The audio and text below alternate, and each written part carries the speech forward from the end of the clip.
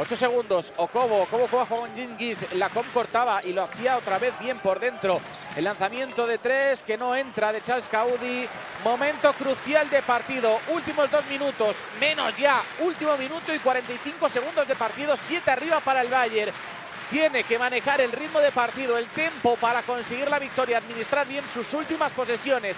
Nick Weller va por los suelos, dos hombres, dos Villerban, canasta de Nick Weller va y saca la falta de James Gist.